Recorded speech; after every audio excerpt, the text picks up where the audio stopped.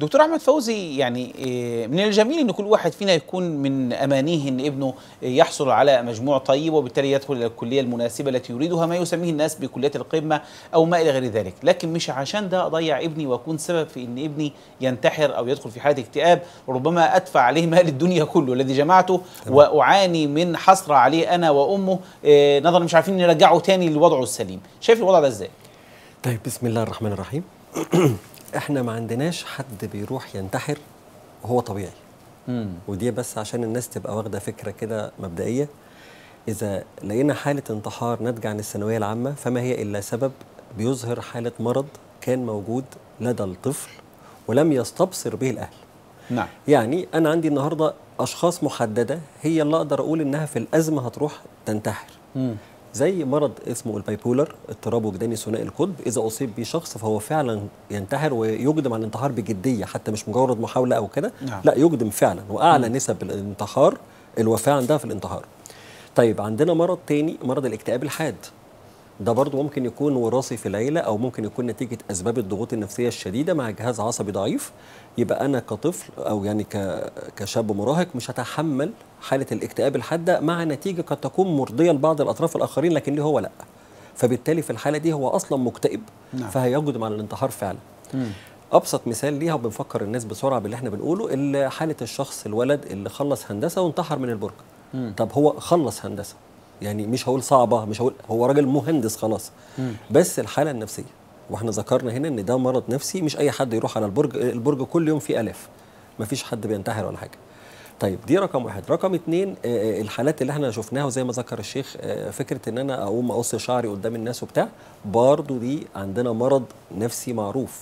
اضطراب في الشخصية تمام اللي هي الشخصية ال histrionic border أو ال borderline personality disorder أو ال histrionic disorder اضطرابات الشخصية.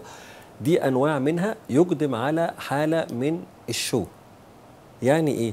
أنا النهارده لو عايز أحلق شعري زلبطه ما تحلقه من غير حد ما يعرف. لكن أكيد مش هجيب كاميرا وأقف قدامها وأفتح live ويا جماعة أنا زعلان أهو.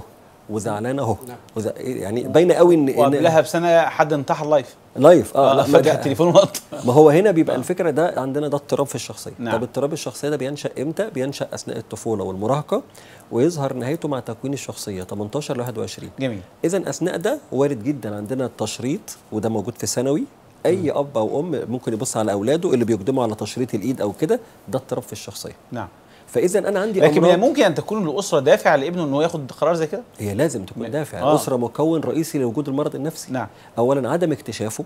ما اكتشفتش من فترة مبكرة. مم. رقم اثنين الضغط النفسي الحاد. آه. رقم ثلاثة المشاكل الأسرية الشديدة جدا. مم. رقم أربعة سوء التعامل بالتربية. يعني أنا ما بربيش بشكل سليم. مم. رقم خمسة طبعا عدم الاستبصار بالأمراض أصلا. يعني إحنا. بنقول له مثلا ابنك محتاج دكتور نفسي. ليه؟ هو ابني مجنون. مم. هو بالنسبة له طالما صحيح عضويا هو كده تمام. تمام. فبالتالي ده بيبقى مشكلة عند الأب. ممكن يميل جدا لأن يكون الأمر مس أو سحر وي- ويجتهد في هذا الأمر جدا نعم. لكنه ما يفكرش يروح للجانب النفسي. نعم. طيب السؤال دلوقتي يعني أنا كأب لو ابتليت إن الولد خلاص ربنا ما ييسرلوش اللي هو عايزه أو اللي أنا كنت أتمناه للولد إزاي ما اظهرش ده بشكل يؤدي اللي يخلي الولد يوصل لمرحلة سيئة سواء آه، أعوذ بالله ان وصل لمرحلة الانتحار أو دخل في مرحلة الاكتئاب. هو طبعا أنا حتى وأنا يعني كيف أتحكم في مشاعري يعني؟ بص وإحنا وإحنا بنبدأ الحلقة عشان أكون صريح. أنا شايف قامات قاعدة. يعني أنا عشان أقول الجزء الخاص بالناحية الدينية فيها أنا لا مستحيل بتكلم من أفتح الناحية. النفسية. ما أنا هقول لسه نعم. حالا أهو.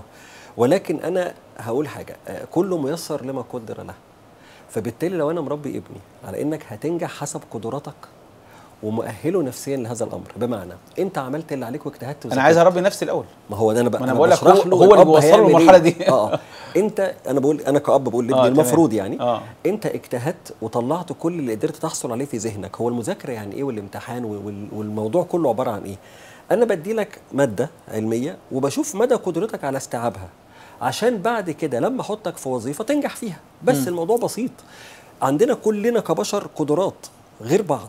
أنا أقدر أحفظ حاجات بسرعة جدا عن أستاذ عمر بس أستاذ عمر عنده الفك والتركيب أسرع مننا كلنا. مم. عند الأئمة طبعا باب أكبر بكتير. يعني تعالى واحد فينا يتعلم علم الحديث مستحيل يحصل. لكن بالنسبة لهم هم ده إحنا يعني هم أساتذتنا. فاذا أنت بتتكلم على قدرات بشرية. أنا النهارده لقيت ابني قدرته البشرية بسيطة في حاجة معينة. ممكن يكون موهبته رياضية. نعم. فبالتالي أنا لو راجل رياضي عالمي مش هتلاقيني خالص في الجانب ممكن التعليمي يكون مقصر. وقد يكون آه، أنا ما نعم. بتكلمش على الفئة المقصرة نعم. أصل المقصر أنا كان قصدي برضه ان شايف. غالب الأسر بتشوف إن هو الولد آه، من الناحية العقلية لا هو ما شاء الله كفاءة إنه يوصل للمرحلة دي هو المقصر مش هينتهي. ربما يكون مقصر يعني هو ممكن في- ما شاء الله شيخنا هو المكسر بيفرح بال 50% جدا على فكرة نعم. ويحس إن هو كده رضا والحمد لله أنا مبسوط ويعني وتلاقي عامل حفلة لا ما هو بالمناسبة برضه ممكن تلاقي طالب في ثانية ثانوي آه. جاي مثلا آه، 90% أو 95% وما غير ذلك يعني هو أصلا طالب مجتهد حلو. جه في ثالثه لأي سبب من الأسباب قصر خدت بالك؟ فبالتالي ما جابش المجموع المناسب اللي يؤهله لكلية كويسة. يعني مش بالضرورة يكون كلهم ضايعين يعني. لا أنا ما بقولش ضايع. آه. أنا دايما على فكرة أنا لو واحد جايب آه، اللي جابت 4% آه. والله عندي أنا ما هي ضايعه تمام. تمام؟ وأبسط حاجة إن عندها قدرات ما زال عندها قدرة على الاعتراض. مم. يعني فكرة القدرة على الاعتراض على فكرة أنت كده كسرت حاجز الخجل الاجتماعي. تمام. يعني اذا أنا بعتبرها بالنسبة لي أنا ناجحة. غيرك يتكسف يطلع غيرك ما يعرفش يعبر. بعض يبقى ينجح. يشوفه بعض يشوفه متبجح. وقد يكون. بس أنا بتكلم في حتة معينة. إن أنا عندي مقدرة أتعايش مع المجتمع. برضه سؤالي. اتفضل. آه، كيف أستطيع أن أقاوم شعوري؟ اللي هو إن أنا زعلان ومتضايق ومخنوق. إن هو ما عرفش يجيب المجموع المناسب. تمام. بحيث إن أنا ما وصلوش لمرحلة أدفع ثمنها بعدين يعني. طيب أنا قلت جملة قبل كده في الحلقات اللي هي فكرة الرضا إنك آه. عايز توصل لرضا النظر لمن هو أدنى وادم النظر لمن هو أعلى. دايما ما تبصش لمين جاب ال 100% لكن بص إن أنت ربنا قدر لك أفضل من غيرك كتير. نعم. بص إن غيرك ما دخلش التعليم وأنت دخلت غيرك مش مثقف وأنت ذكي. نعم. أنت شايف في نفسك إن أنت إنسان كويس؟ أول حاجة نظرتك لذاتك الشخص لنفسه. إذا أنا شايف إن أنا كويس أنا هنجح. تمام. هنجح في الدنيا هنجح بأساليب الدنيا. زي ما اتقال من شوية إحنا بنشوف ناس يملكوا الحياة دلوقتي وما عندهمش أي شهادات. نعم. إذا أنا بتكلم أنا أقدر أعمل حاجات كويسة جدا. مم. النهارده أنا ممكن أدخل كلية أنا هكون فيها إن شاء الله مميز جدا. فاتني سنة لظروف ما ضغط عليا لظروف اقتصادية لوفاة عزيز عليا. أنا اتأثرت جامد جدا فيها. أثرت في اجتهادي. كنت شايف نفسي واو 92% في ثانية ثانوي مثلا زي أنت ما قلت. فشايف إن أنا هجيبها بسهولة وما جاتش معايا. آه آه، النظام الجديد في الامتحانات فاجئني زي ما شفنا كتير قوي في العلمي كان الكيمياء وكان في الأدبي كان العلم النفس وما إلى ذلك. طب أنت النهارده حصل أي حاجة؟ وسقطت عن اللي أنت بتتمناه. انجح في اللي أنت وصلت له. يعني دايما بقولها حتى بعد كده في حياتك لو مشيت بالمنهج ده هترتاح. إذا تزوجت امرأة وما كانش فيها كل امتيازاتك هي ما فيهاش ال 100% فيها 50 70 60 تسيبها ولا إيه رأيك نكمل؟ اجتهد وكمل وانجح. نعم. أشكرك شكرا جزيلا.